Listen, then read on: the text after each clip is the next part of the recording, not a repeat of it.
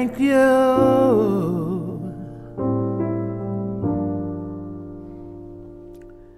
Thank you. Welcome to a new edition of the Neon Jazz interview series with jazz pianist, organist, vocalist, composer, actress, and educator Amina Claudine Myers. We caught up with her in May 2020 as the COVID 19 world was ramping up to talk about quite a bit. Over her illustrious career, she has performed nationally and internationally throughout Europe, Asia, Africa, Australia, and North America. She is well known for her work around the world of jazz, and her career began in her preteens and throughout high school, directing church choirs, singing and playing gospel and rhythm and blues. She talks about so much and joy. Thanks for taking a minute out. And what I want to know from you as a creative artist, what have you been doing during this COVID 19 quarantine to stay creative and to kind of keep things moving?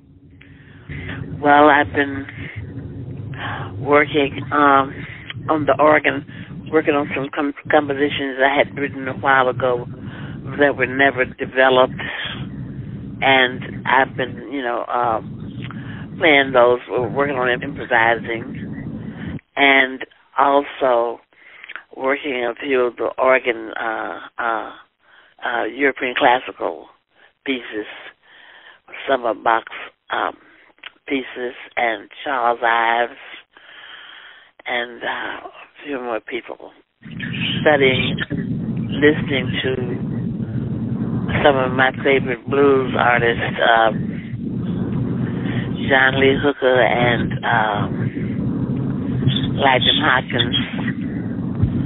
Lightning Hopkins um, on the on, on YouTube.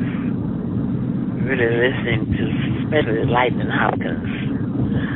Um, and uh, one of my favorite Swan Silvertones. I was looking for a composition I heard them do years ago.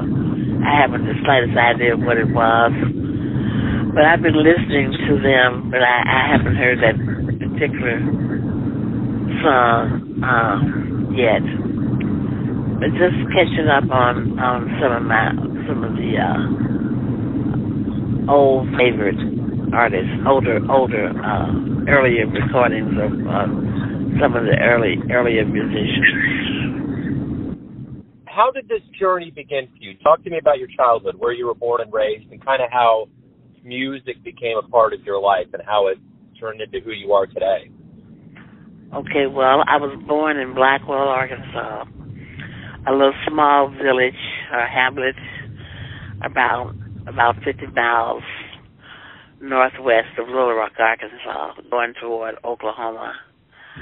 And I, at the age of around six, I started uh, European classical piano. I would go to the nearest town, which was Morrilton, Arkansas, about six miles, seven miles away, really.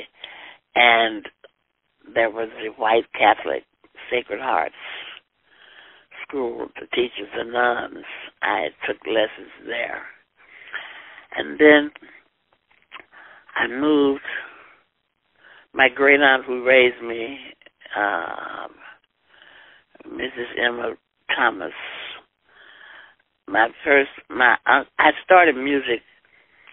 I, I remember I was about four years old, and my uncle by marriage, Uncle Buford, who had got a degree, graduated from Tuskegee Institute. I have a photo of him on my wall.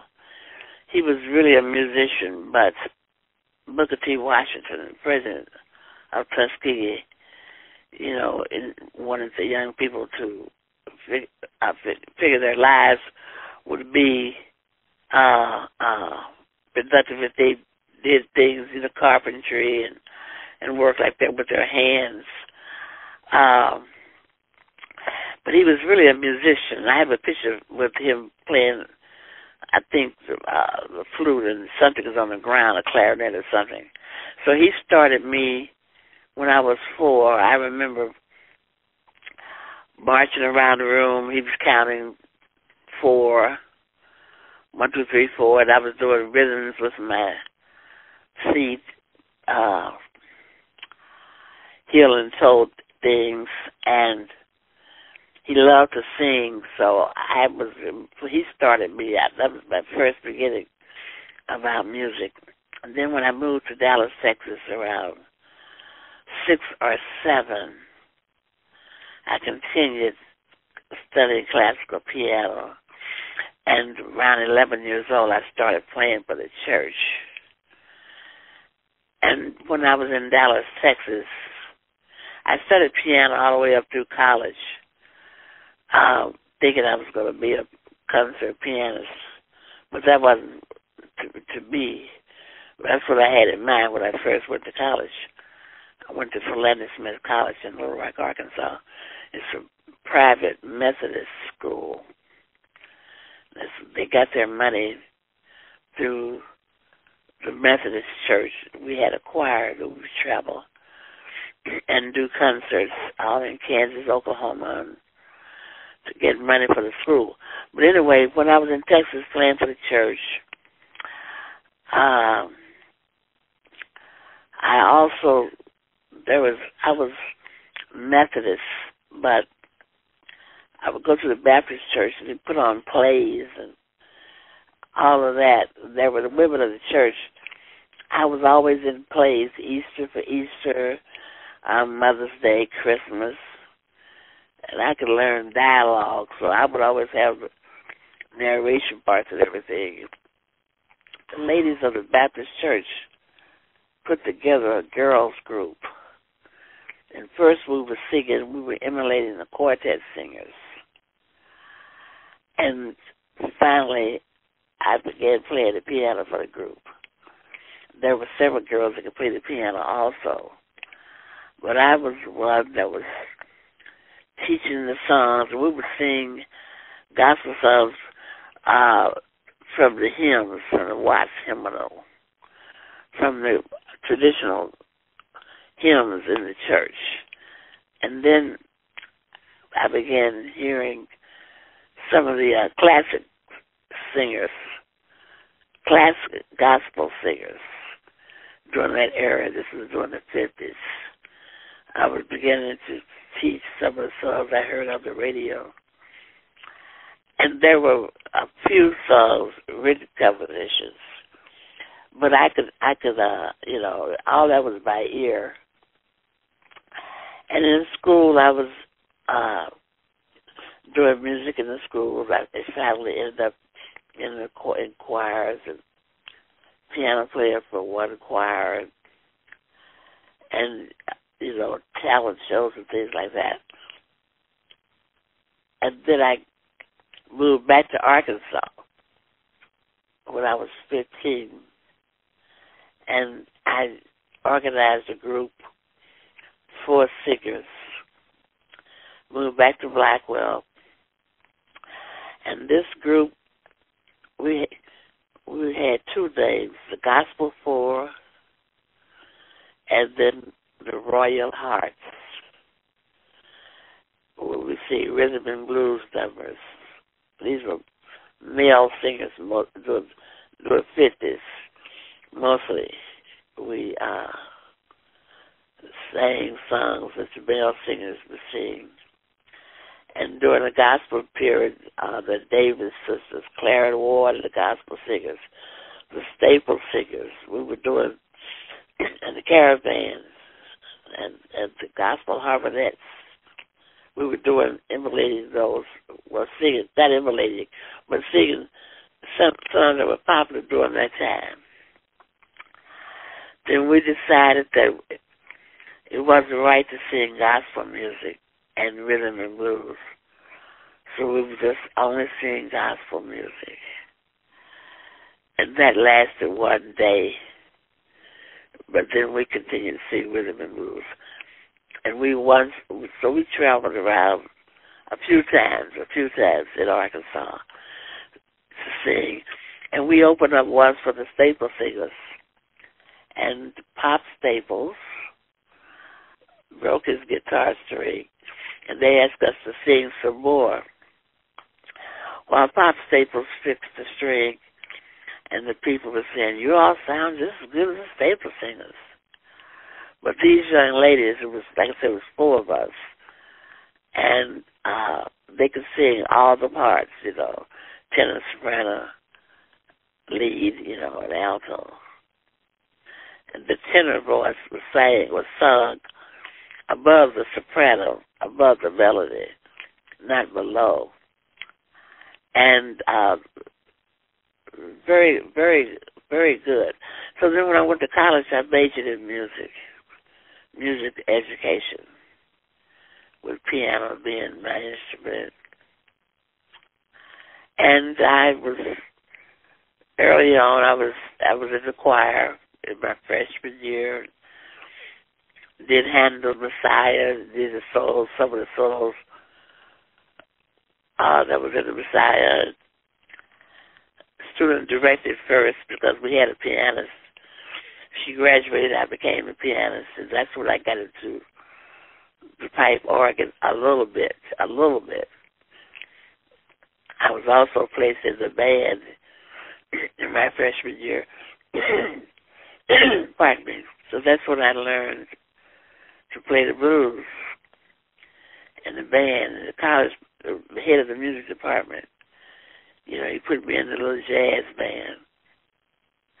And in the meantime, I was in the college choir, and we would travel and tour to get money, you know, for the college. And when I was 18, a young lady came up to me on the college campus and said she had a gig for me, was playing in a nightclub. I told her I couldn't play in a nightclub. I didn't know. And by the way, I, this is my sophomore year because I moved out into the city. I was in a dormitory where it was cheaper, you know, to get to stay uh, to move out of the dormitories. So I was playing for the church organ on Sundays. And I would fall asleep, and they had to wake me up in the church when they opened the door to the church. That's when they were inviting people to join the church. I had to turn the organ on and stuff because I was playing in the in the nightclubs on the weekends and playing at the church on Sundays. So that's how I got started. What was the the first live jazz show that you ever saw that really moved you? When I was in in college, the local there was always you know every I believe every city has uh jazz musicians. They don't leave the town, but they're they're highly regarded. You know, uh, this Mr. Arthur Porter, who also taught uh, music at the high school, but he had a group in Little Rock, Arkansas. I was impressed with him. His group was the first one I heard. The musicians they played for the white country clubs. When I was playing my first gig at 18 in the in the in the club, I was doing solo piano, but the piano players, the the club was in a hotel. I mean, there was a hotel in the building, and the piano players came from Memphis, Tennessee. They would come to Little Rock, and they stayed in in the hotel also. So I got exposed to to jazz. And then I heard this group, Arthur Porter. In fact, he he gave me a gig once at the Sam Houston Hotel in Little Rock, Arkansas. My sophomore year. And a piano bar. And I played there the sec- second night. The manager fired me he said because my repertoire was too small. I had never heard the word repertoire. but I knew I knew what it meant. My feelings were hurt because in the kitchen you had all these uh blacks cooking and uh they so I could I, there was a free meal whenever I worked there. And it was warm and nice and I remember they had a large glass on the piano for tips. And one man, white, these were white, you know, white hotel. I guess, I don't know if blacks could stay there at that time. But the audience, I remember some white man asked me for my autograph. I never had that experience before, but I gave him one. You know, I didn't know what to say. Yeah. I, but anyway, so yeah, Arthur Porter. He was one of the major uh pianists. He had a group in Arkansas, in Little Rock. Wonderful.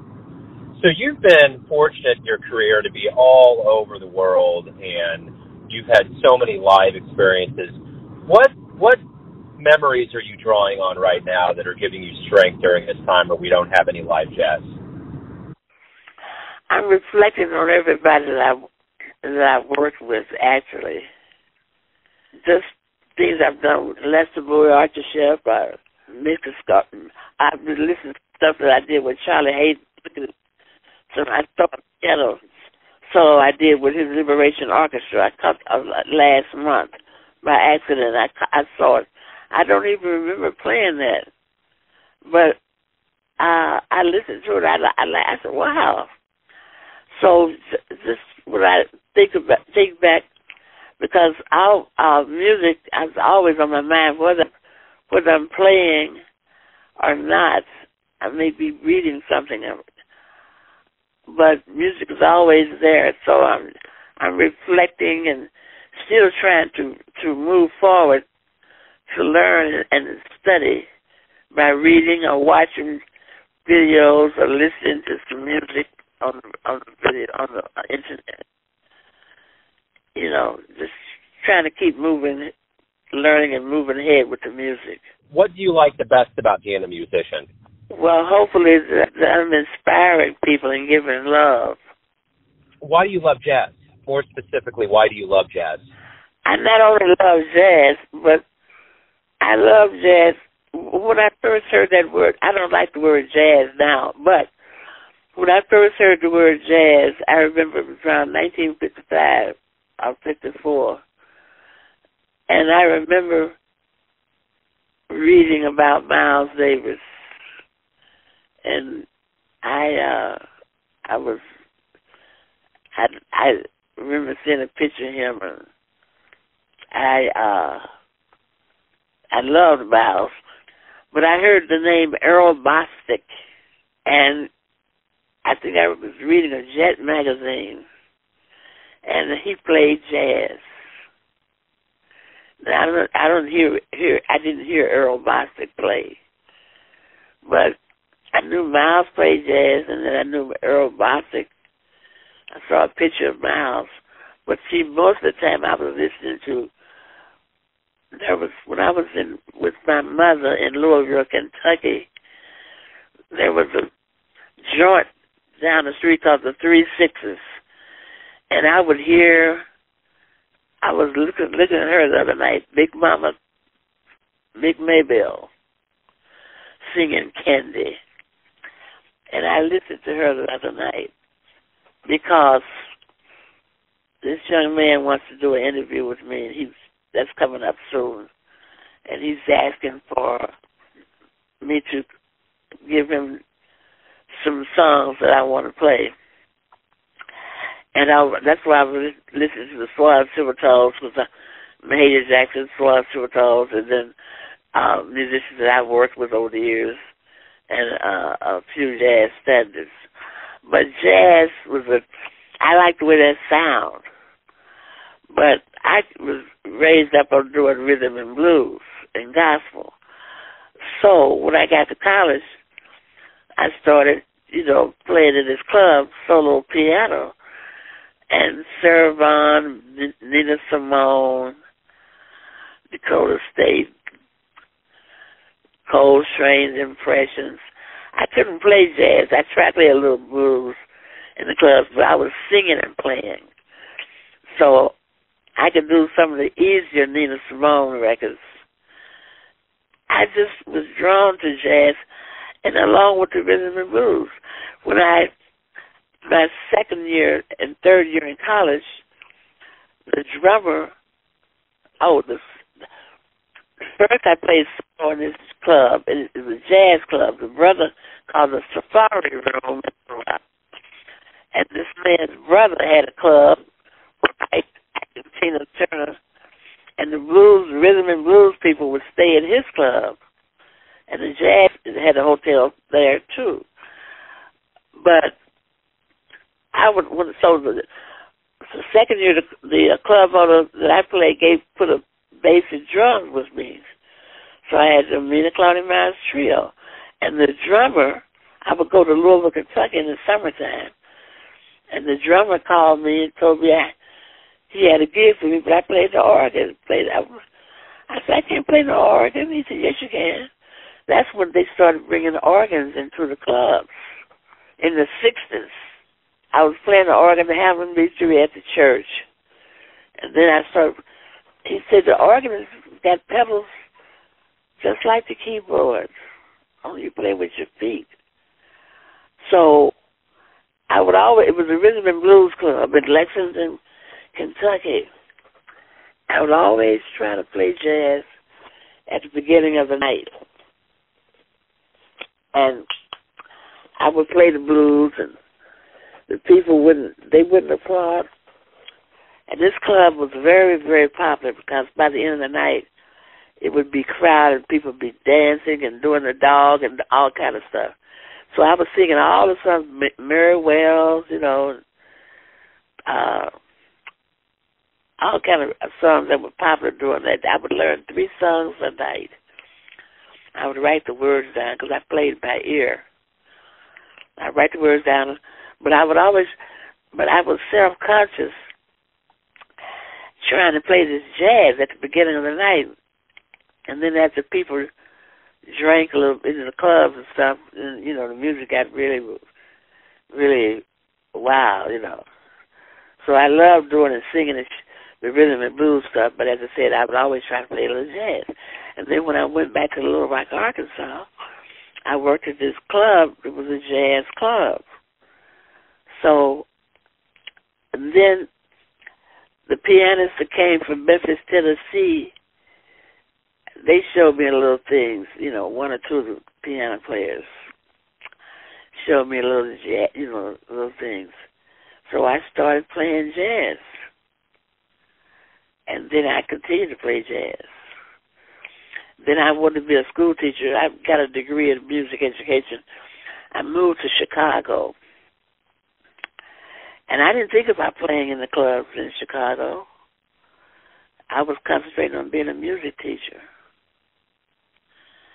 But I ran across this young man. he was a photographer.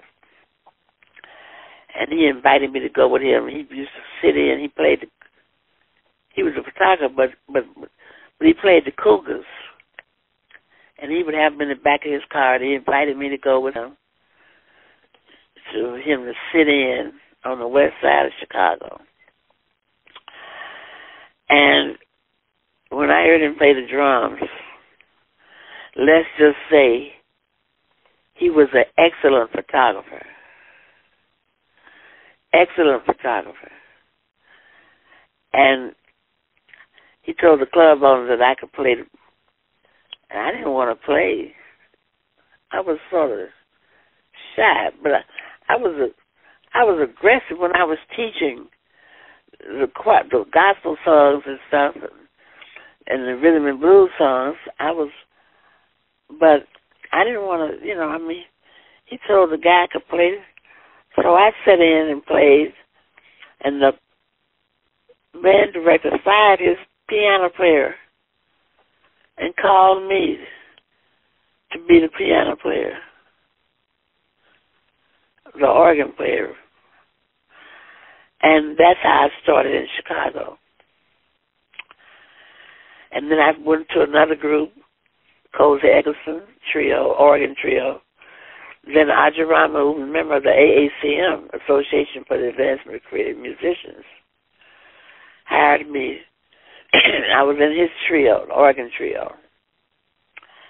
And he, I was uh, the AAC, I was uh, selected to join the AACM. And that really developed me creatively when I got into that organization, which I'm still a member, always will be. And that's when I started. Uh, we had to do our own concerts and stuff, and that's when I started developing musically. So I want to ask you this. We're going to get back to live music eventually, and I want to know from you when we do get back to live music, what do you hope both musician and the crowd realizes from this time away? I hope they will continue uh, to uh, to appreciate us as artists, which they do already, but accept us what we're doing and what we're creating and how we're trying to hopefully that we we are able to touch them and they realize how we inspire them through the music. But they do that already. those, but I hope that we can be exposed more. Excuse me. Our music, you know, uh, uh, we're we're it's no, we're not on TV. You know, music not on TV. It's a whole different world now with this music and with with the virus, hopefully when things get back and we start working again, we'd be appreciated more and be exposed through the media in different ways, in more ways. So my final question to you is this: Everyone has their perception of you, your family, your friends, your fans, that you're the one living your life. Who do you think you are? Well, I think I'm realizing more and more that I I do am a musician and a creative musician, someone that's uh, created to to to like I said to the main thing is to inspire and to give love to to help music is healing regardless of what kind of I don't care what kind of music it is if you have a, a spiritual connection and that is hopefully I have a connection to to uh, help heal heal people, to make them feel feel good about themselves or about their lives, or to bring up memories of of things that's happened with them, good mem- good and positive memories to those that listen, to inspire, especially young people to want to pursue music, to help heal and inspire people. And that's what, and to educate people through the music, to let people know about those musicians that have passed on and left positive impressions by doing their compositions, their songs, and also by writing music, being creative, and to to uh, to help to help heal and to inspire others and to give out love through the music. Beautiful. Hey, thank you again. Stay safe and thank you for calling. Thank you very much. Thanks for listening and tuning into another Neon Jazz interview where we give you a bit of insight into the finest singers in New York, Kansas City, and spots all over the world, giving fans all that jazz. Thanks to Amina for her time, music, and story. If you want to hear more interviews, go to Famous Interviews with Joe Dimino in the iTunes Store. Visit neonjazz at youtube.com, and for everything Neon Jazz all the time, go to the neonjazz.blogspot.com. Until next time, enjoy the jazz, my friends. Thank you.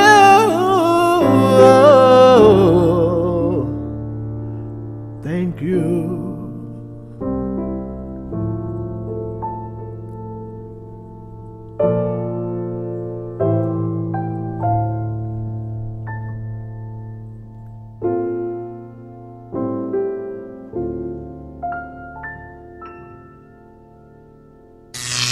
Neon Jazz.